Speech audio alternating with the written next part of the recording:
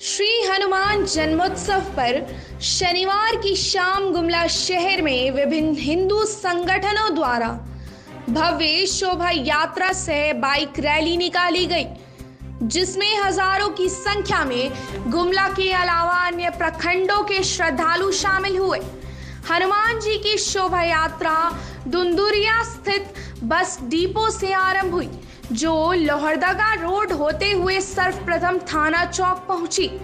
इसके बाद पटेल चौक होते हुए main road, tower Chowk Sai road, Palkot road सहित अन्य मार्गों से होते हुए पुनः टावर चौक पर पहुंचकर समाप्त हुई। विश्व हिंदू परिषद बजरंग दल के द्वारा आज भव्य जुलूस निकाला गया है।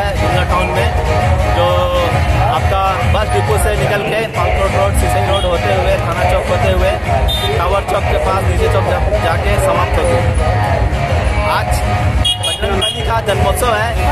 इस अवसर पर हम लोग हर वर्ष की भांति इस वर्ष भी शानदार जुलूस का आयोजन किए हैं। हज़ारों की संख्या में जुलूस में भीड़ है। सभी राम भक्तों को जय श्री राम। अमित श्रीवास्तव, मैं बजरंग दल, जिला संयोजक अपने राज्य से जुड़ी हर ताज़ा खबरों के लिए आप हमें सब्सक्राइब करें, साथ ही बेल आइकन बटन दबाना ना भूलें।